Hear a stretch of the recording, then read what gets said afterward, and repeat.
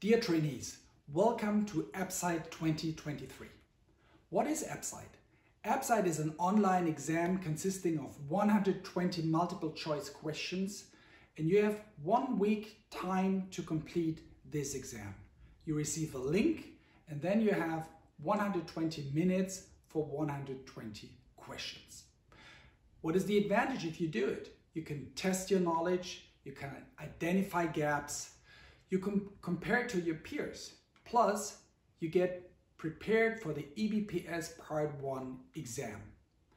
After taking the exam, you get a personal feedback um, how you scored and what percentage of correct answers you made.